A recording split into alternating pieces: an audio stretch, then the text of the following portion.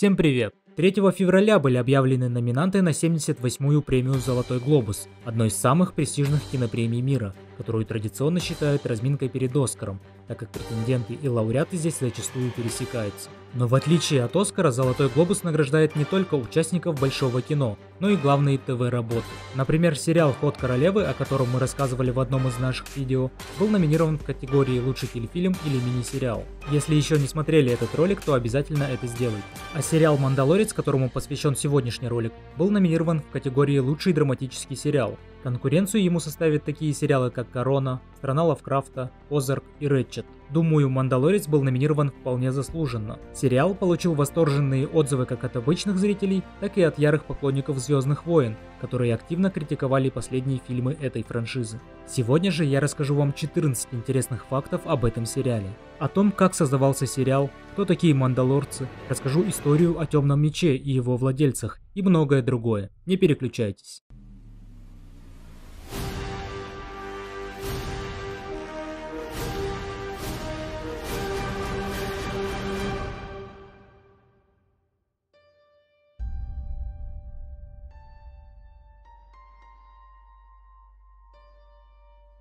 Действия в сериале разворачиваются спустя 6 лет после событий фильма «Возвращение джедая», то есть после оригинальной трилогии, и за 24 года до событий трилогии сиквелов, в которые вошли такие картины как «Пробуждение силы», «Последние джедаи» и «Скайуокер. Восход». Сериал по Звездным войнам пытались снять и раньше. В 2005 году Джордж Лукас объявил о намерении снять сериал «Звездные войны. Другой мир». Студия Lucasfilm разработали сценарий для 50 эпизодов, но финансовые проблемы не позволили начать съемки. Спустя несколько лет он продал франшизу Диснею со всеми наработками и идеями. Но студия решила создать собственный канон. После провала в прокате ленты Хан Соло «Звездные войны. Истории» работа над спин и сериалами была приостановлена. Но в 2019 году студия запустила запустила свой стриминговый сервис, и ей понадобился контент. Так идея сериала по Звездным войнам стала реальностью. В 2019 году Джон Фавро поведал, что он предложил продюсеру Кэтлин Кеннеди идею «Мандалорца» летом 2017 года, когда занимался съемками ремейка «Король Лев» для Дисней. Джон хотел исследовать тайну происхождения расы Йоды и задумал персонажа, который будет принадлежать к той же инопланетной расе. Так возникла идея создать малыша Грогу. Кеннеди свела Фавра с художником-мультипликатором Дэйвом Филони, и когда они оба встретились, Филони начал рисовать на салфетках наброски малыша. Это стало переломным моментом, и вскоре Фавра, во время работы над картиной «Король Лев», каждый день задерживался допоздна и работал еще несколько часов над своим секретным телепроектом для Lucasfilm. Теперь немного поговорим о том, кто такие мандалорцы. История мандалорцев немного запутана. По одной из версий это древний народ, который берет свое начало от расы Таунги, появившейся за тысячу лет до людей. Таунги отличались серым цветом кожи, высоким ростом и необычной формой головы, которая напоминала шлемы мандалорцев. В дальнейшем таунги сражались с людьми и после поражения переселились на планету Рун. Там они спокойно жили и развивались тысячу лет, пока амбициозный предводитель по имени Мандалор I не уговорил их начать завоевание соседских народов. Под его предводительством они обосновались на одной из планет и истребили живших на планете мифозавров, из костей которых построили многочисленные города. Планета получила название по имени вождя таунгов Мандалор. Таунги сражались со всеми подряд и нажили себе много врагов, и в конечном итоге их уничтожили джедаи. Однако в галактике зародилась военная организация, которая почитала боевые традиции таунгов. Они называли себя мандалорцами впоследствии обосновались на этой же планете. По другой версии, таунги сами принимали к себе представителей разных рас, которые стали мандалорцами. В любом случае, мандалорцем мог стать любой, кто покажет преданность идеалам организации и боеспособность. Далее, по первой версии, организация попала под влияние ситхов, и ее лидер Мандалор Наивысший развязал войну против Старой Республики, но погиб от рук джедая. Оставшиеся после поражения мандалорцы жили разрозненно. Они научились выслеживать цель и отлично сражаться. Так мандалорцы прославились как охотники за головами, за ними закрепилась слава людей долга, с которыми ни одному преступнику не удалось договориться. Они предпочитали разыскивать добычу в одиночестве. Отсюда у них выработалось стремление носить с собой максимальный арсенал оружия. Из сериала мы также узнаем, что во времена расцвета Империи произошла Великая Чистка, в результате которой большинство мандалорцев были убиты, а имперские войска заполучили их запасы без кара материала, используемого для изготовления доспехов мандалорцев. Все эти события и привели к почти полному исчезновению мандалорцев. На съемках сериала используется инновационная и во многом революционная технология создания спецэффектов под названием Stagecraft от компании ILM, дочерней компании Lucasfilm, которая позволяет проецировать изображение высокого качества на огромные экраны, находящиеся на съемочной площадке. То есть вместо привычного зеленого экрана на съемочной площадке использовалась так называемая виртуальная сцена. Ключевой особенностью технологии является то, что система отслеживает положение камеры, двигающейся внутри сконструированной виртуальной сцены, и изображение на экранах подстраивается под ее движение в режиме реального времени, обеспечивая нужный ракурс, расстояние и угол изображения. Таким образом, спроецированная на экраны 3D-картинка не является статичной, а ведет себя в точности так, как это бы происходило в реальности или в компьютерной 3D-студии во время постобработки. Для создания цифровых фонов в сериале использовался игровой движок Unreal Engine 4 от компании Epic Games. Данная технология позволяет намного ускорить рендеринг визуальных эффектов, чем это обычно возможно для игровых сериалов. Раскадровка, которая показывает разбивку видео и иллюстрирует ключевые сцены, также выполнялась не с помощью традиционных эскизов на белом фоне, а с помощью игрового движка. Однако только примерно 50% кадров были фактически сделаны на Unreal и сняты на камеру.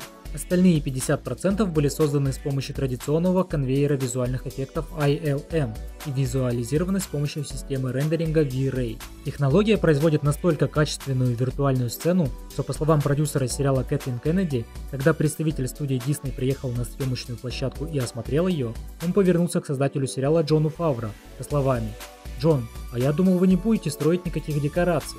То есть сотрудник Disney в тот момент даже не понял, что находится не среди декораций, а внутри виртуального пространства. За новаторство в применении технологии Unreal Engine компания Epic Games получила техническую премию Emmy. После съемок нескольких сцен с Грогу, представляющим из себя реально созданную настоящую куклу, съемочная команда хотела сделать еще несколько сцен, но уже с использованием компьютерных эффектов для создания персонажа, потому что не были уверены в том, что кукла будет выглядеть в кадре достаточно убедительно. Однако, когда знаменитый режиссер Вернер Херцог, сыгравший в сериале клиента, узнал об этом, он сильно возмутился, обвинив создателей в трусости и попросил оставить куклу. В итоге в фильме остались сцены с куклой, которая, по словам Херцога, выглядит на экране душераздирающе прекрасно. Ему так понравилась эта кукла, что он разговаривал с ней, будто она живая. Мандалорец в тяжелой броне Паз Визла, с которым в одном из эпизодов возникает конфликт у персонажа Педро Паскаля, озвучен Джоном Фавро, шоураннером сериала. Однако в самом костюме все же был не он, а боец ММА Тейт Флетчер. Кстати, именно этот персонаж, озвученный Фавро, отдает честь Мандалорцу, пролетая на джетпаке рядом с его кораблем. Это можно считать своего рода кивком в сторону Железного Человека, первые две части которого также снял Фавро. Эпизод «Грех» первый раз за всю 42-летнюю историю франшизы, когда «Звездные войны» снимала женщина. Серию поставила Дебора Чоу, которая ранее работала над дневниками вампира, Мистером Роботом, Лучше звоните Солу, Джессикой Джонс и Американскими богами. Она же поставит все шесть эпизодов сериала об Оби-Ване. Известно, что Чоу вдохновлялась телохранителем японского режиссера Акиры Курасавы. Фильм 1961 года посвящен самураю, оказавшемуся в городке, наполненном различными преступными группировками. Больше всего этот фильм повлиял на атмосферу сцены, в которой мандалорец отстреливается от наемников посреди улицы. Еще одним источником вдохновения был боевик «Круто сваренный» 1992 года от режиссера Джона Ву. В нем есть сцена, в которой главный герой с ребенком на руках участвует в перестрелке. В одном из интервью шоураннер Джон Фавро отметил, что изначально он не намеревался включать персонажа Марка Хэмилла, сыгравший Люка Скайуокера, но сценарий позволил это сделать. Также Джон добавил, История развернулась по мере того, как я ее писал. Мандалорец унаследовал многое от существующих историй Звездных войн, и стало ясно, что в рамках непрерывности случиться может многое. Поскольку действие сериала разворачивается между событиями оригинальной трилогии и трилогии сиквелов, в целом зрители знают судьбу Люка после своего появления в концовке второго сезона. Но Джон отметил, что он не чувствует давления, чтобы привести повествование к конкретным событиям. У нас есть огромная творческая свобода, предоставленная благодаря разрыву во времени между фильмами. Я и Дэйв Филони постоянно обсуждаем, как выбор каждой истории влияет или может повлиять на существующие материалы по Звездным войнам. Пригласить композитора Людвига Йорансона рекомендовали несколько коллег Фавра, в частности режиссеры Райан Куглер и Энтони и Джо Руссо, и музыкант Дональд Гловер.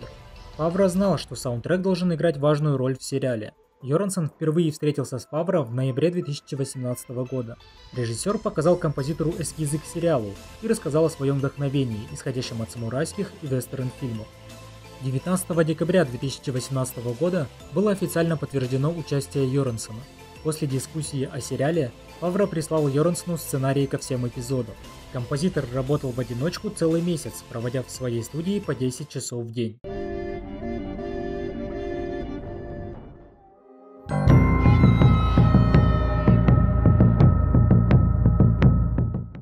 Музыка записывалась с апреля по сентябрь 2019 года в Лос-Анджелесе при участии оркестра из 70 человек.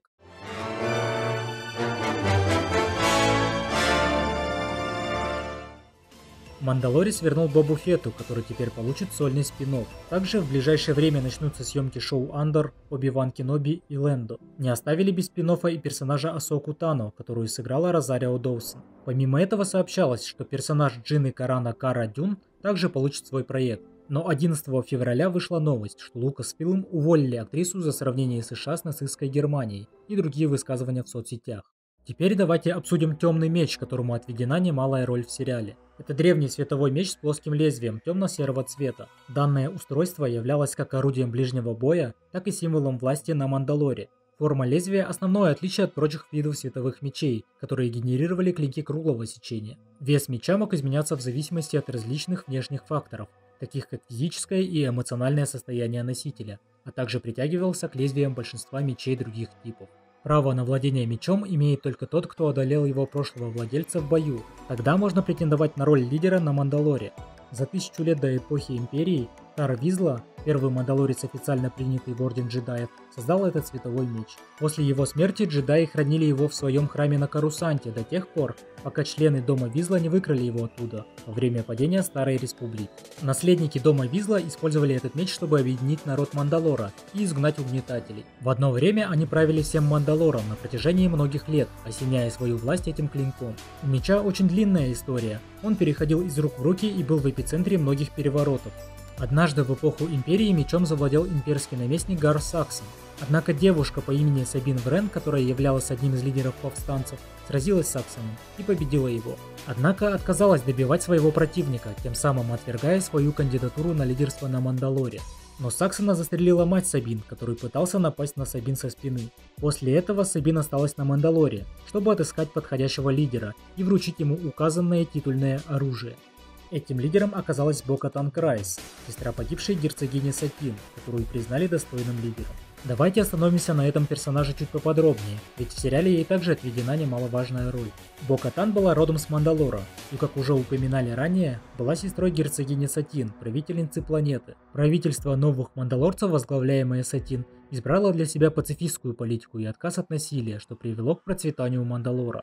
Но будучи сторонником военных традиций прошлого, Бокатан вступила в антиправительственную организацию «Дозор смерти» и стала беспрекословно следовать за своим лидером Преовизлой, который, кстати, владел темным мечом, доставшийся ему после смерти основателя Дозора Тора Визлы.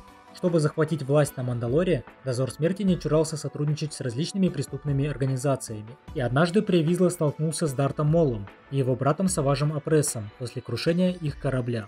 Визла вылечил их и заключил с ними сделку. Ситхи помогали дозору, а Визла с помощью герцогини Сатин Крайс заманивал Оби-Вана Кеноби к Дарту Молу, который жаждал мести. Как вы, наверное, помните, именно Оби-Ван разрубил пополам Дарта Мола, и тело Ситха упало в шахту. Но даже в разрубленном состоянии он выжил, сделал себе кибернетические ноги и объявил охоту на Оби-Вана, но как герцогиня Сатин Край смогла заманить Оби-Вана? Дело в том, что во время гражданской войны на Мандалоре республика отправила двух джедаев, мастера Квай Джина и его подавана Оби-Вана Кеноби для защиты герцогини. Их миссия затянулась на год, и за это время Оби-Ван и герцогиня Сатин Край стали очень близки и полюбили друг друга. Поэтому Мол принял условия сделки. Далее криминальная группа во главе с Молом начала атаку на столицу Нового Мандалора, Сандари, против которой полицейские подразделения города оказались бессильными. В это время Дозор Смерти обратился к народу Мандалора и пообещал защиту, обвиняя в нападениях слишком мягкую политику Сатин. Войско Дозора Смерти инсценировало сражение с их преступными союзниками. В частности, Визла лично сражался темным мечом с Саважем Апрессом, якобы одолев Ситха при попытке ограбления банка. Устранив угрозу со стороны криминальных кланов, Дозор Смерти приобрел репутацию народных освободителей и героев. Герцогиня Сатинкрайс была свергнута, а Привизла занял трон. После завершения революции Привизла предал своих союзников ситхов и заключил их в тюрьму. однако Мол и Саваж вскоре бежали. Разгневанный Мол ворвался в королевский дворец Сандари и бросил вызов Визли ради места лидера дозора смерти. Искусно владея техниками боя на световых мечах, Мол одолел Визлу, забрал темный меч, объявил его своей собственностью и казнил им Визлу. Отказавшись признать власть Мола как нового лидера дозора, Бокатан бежала из дворца вместе со своими сторонниками, отрядом «Ночные совы».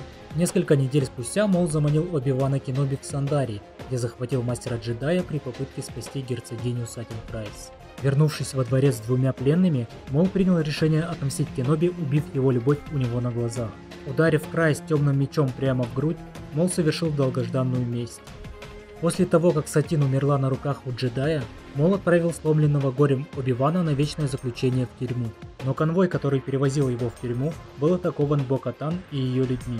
Она освободила Оби-Вана и отправила его на корабле обратно в Республику, попросив его рассказать, что случилось на Мандалоре, и привести на планету армию Республики. И дабы не затягивать рассказ о ней еще сильнее, можно сказать, что она являлась гордым служителем Дозора Смерти, и ее целью было восстановление былой славы мандалорцев. Бокатан была стойкой и верной своей группе. Ранее я уже упомянул, как темный меч достался Бокатан. Она завладела мечом, который давал ей право претендовать на лидерство на Мандалоре. Но впоследствии меч перешел к Гидеону. Давайте теперь поговорим немного о нем. Гидеон – человек, который служил офицером в спецслужбе Галактической Империи и Имперском бюро безопасности. Во время Великой Чистки на Мандалоре Гидеон, принимавший участие в этой кампании, завладел темным мечом. Впоследствии он получил звание Мофа, это звание носили секториальные губернаторы Галактической Империи. Зарекомендовал себя в качестве военного преступника и отвечал за собственную территорию. Гидеон был хорошо осведомлен и стремился навести порядок после падения Империи. Будучи офицером высшего ранга, носил имперскую униформу с черными боевыми доспехами и плащом. Он был импозантным и безжалостным, готовым убивать своих собратьев-имперцев ради достижения своих целей. В последнем эпизоде второго сезона Динджарин победил Гидеона в бою забрал темный меч. Он передал его Бокатан, которая как раз и пыталась его вернуть. Но Гидеон напомнил, что полноправным владельцем меча является тот, кто одолел в бою его предыдущего владельца. Поэтому Бокатан отказалась от меча. Многих порадовало то, что Дин еще сильнее заапгрейдил и без того сильное снаряжение. Он уже обзавелся крутой броней, джетпаком, а теперь еще и темным мечом, который может дать еще и власть. В этом ролике мы не стали подробно рассказывать о таких персонажах, как Боба Фетта и Асока Тану. Как уже упоминалось, о них будут отдельные спин где у нас будет возможность познакомиться с ними поближе. Что ж, Джону Фавро и команде удалось создать по-настоящему стоящий проект, который вдохнул новую жизнь во франшизу и создал отличные условия для Дисней, который непременно получит отличную прибыль от последующих сезонов и спин которые родились благодаря этому сериалу. На этом пока все. С нетерпением ждем следующего сезона. Если вы знаете и другие интересные факты, то делитесь ими в комментариях. Ставьте лайки и подписывайтесь на канал. Я все сказал.